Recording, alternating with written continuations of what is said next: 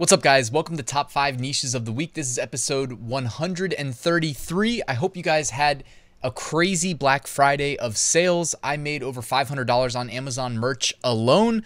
Uh, if you're not following me on Instagram, by the way, I do post daily sales updates, so check that out. I posted a midday sales update on Black Friday as well. Uh, but I hope, you know, everybody's sales should see a nice little bump from now through basically the end of December. When I say end of December, I really mean, you know, Christmas minus the days required to fulfill the orders. Anyways, in this episode, we are gearing up to make as much money as possible between now and then. So I got five new niches for you. Let's get right to it. Quick sales update. So, over the last seven days, I did 502 sales on Amazon merch. 402 came from the US market, and the other 100 came from international markets. Also, if you want to follow me on Instagram, like I said, there's a link in the description. I post daily sales updates. I also saw a big spike in sales on Amazon and Etsy. All right, niche number one this week. And this week we are focusing not on Christmas niches. We are not going to go down the rabbit hole of the most obvious low hanging fruits today. Today, I'm going to give you a little insights into how I am running my business. Granted, I'm in a higher tier. So if you're in tier 10, normally I gear these episodes for like low tier Amazon merch sellers today, I'm saying, hey, everybody else, this is where my mind is at. This is how I like to go about making sales in the fourth quarter. I want to do things that are related to people's interests. What are people interested in? Like, what do they actually do with their time? What are their hobbies? Okay.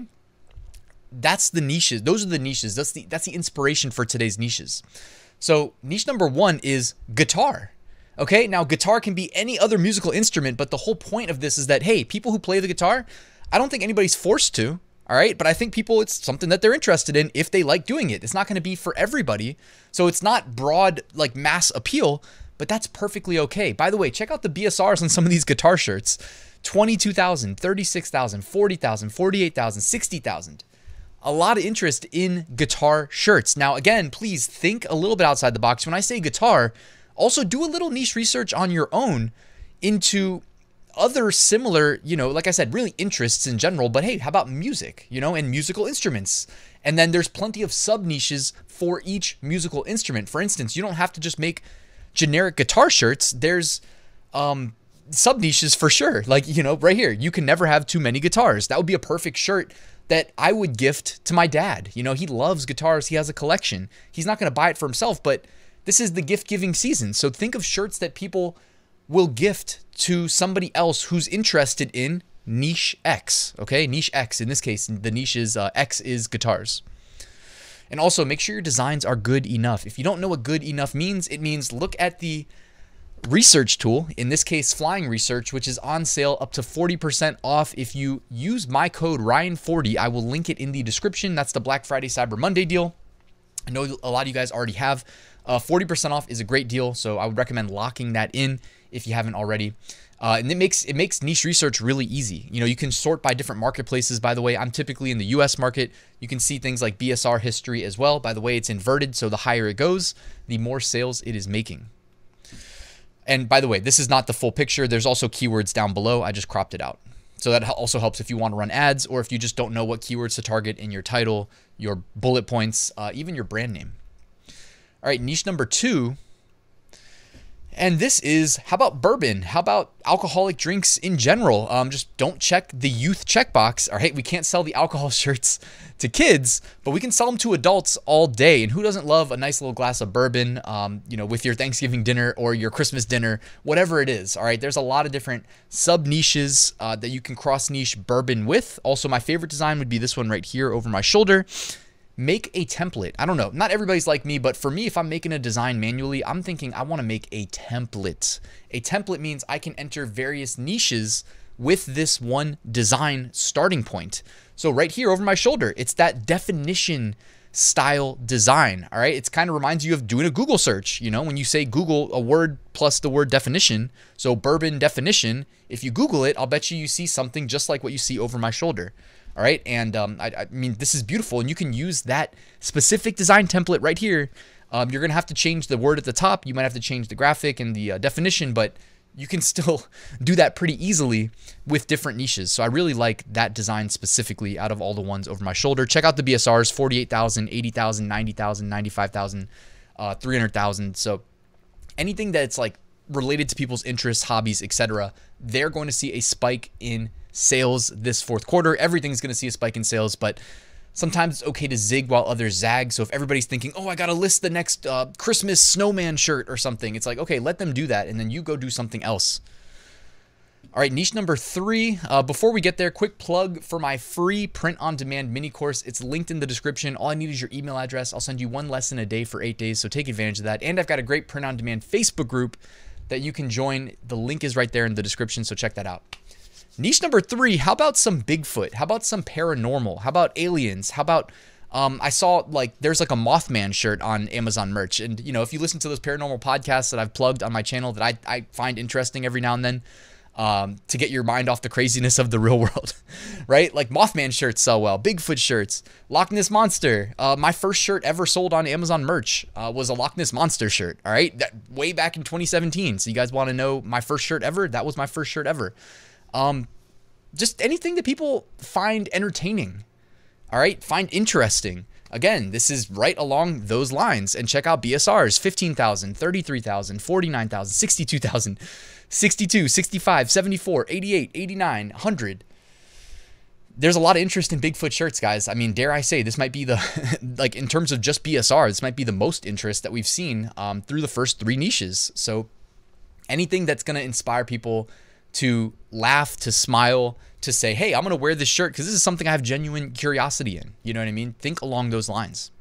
Niche number four today is going to be hockey. All right. Oh, sports, sports in general. Okay. Be careful with the soccer shirts right now while the World Cup is on. There's going to be extra eyeballs on soccer shirts. But how about hockey? Um, there's a you know decent number of hockey shirts that sell pretty well on Amazon merch. And by the way, they don't all need to be best sellers with the potential to make you rich if you get the organic rank one shirt. They don't all need to be that way. Sometimes you just make a shirt that sells once a month.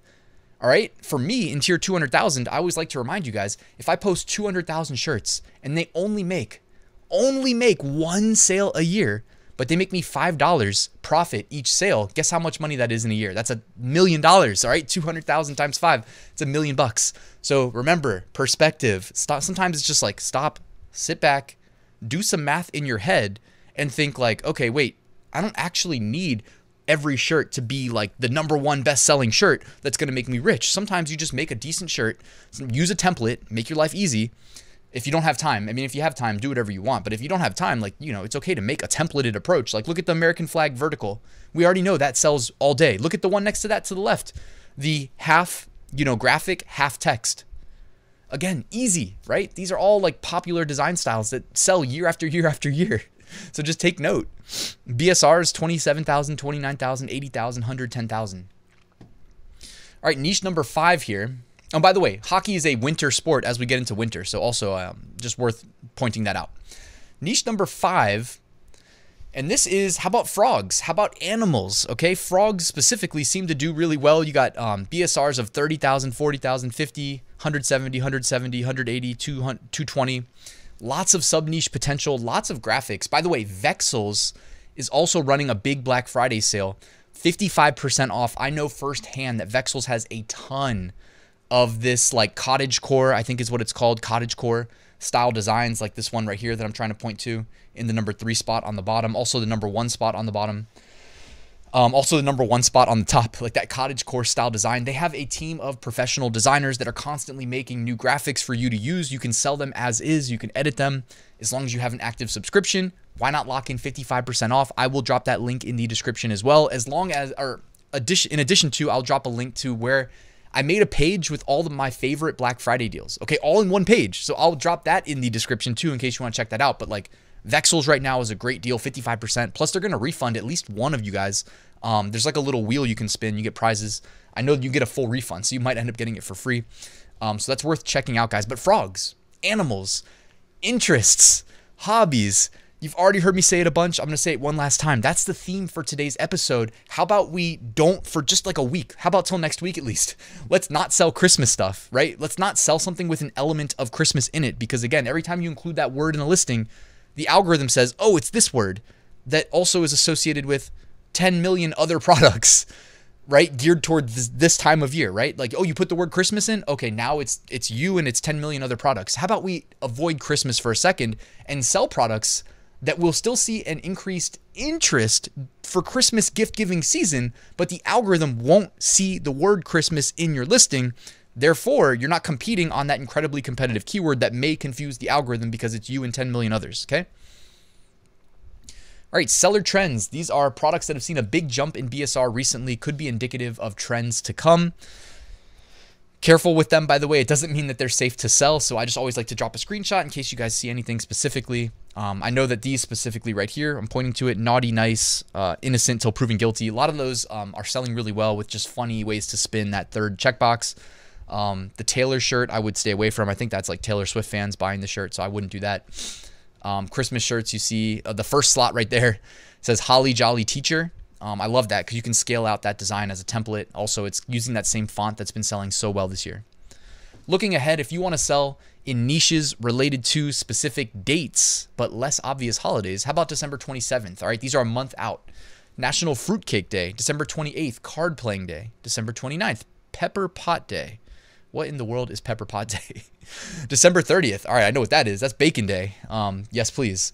Uh, December 31st, New Year's Eve. All right, New Year's Eve. Don't forget about that. Everybody's thinking about Christmas. What about New Year's Eve? Show New Year's Eve some love with your designs. And my bonus design today, uh, I really like this design. Um, in addition to that bourbon design that I said I liked earlier with the definition as a template, but I like this. Just shout out to all the PC computer gamers all right, WASD, what moves me. It's like everybody knows gaming shirts sell really well, but what about like PC gamers? What about computer gamers, right? People that aren't on the consoles using the controllers. How about the people that use keyboards like I do? Uh, WASD. I just think it's like it's like a, a sub niche of gaming that maybe gets overlooked. People aren't getting rich in this niche, uh, specifically like this shirt, you know, for computer gamers. But at the same time, they're making regular sales, and this is the type of shirt that I would think is hilarious because I've been a computer gamer my entire life. Uh, I haven't really played console games since uh, Nintendo 64, but shout out to Mario Kart 64. Had to do that. All right, deleted designs. Here we go. Uh, am I seeing anything consistent? Lots of Let's Go Brandon again. So back to back weeks there. The Brandon shirts, they are really coming after them. Uh, Never Trust the Living. I don't know what that is, but you know, I guess that maybe is something that recently got trademarked. All right. All right, and that's it for this video, guys. By the way, my print on demand course between Black Friday, Cyber Monday, it is still 20% off. That's my max discount. So if you're interested in learning my exact approach to making six figure plus sales every single year, print on demand, check that out. I will link it with the discount in the description. Guys, thanks for watching this video. Please like and subscribe, and I'll see you at the next one.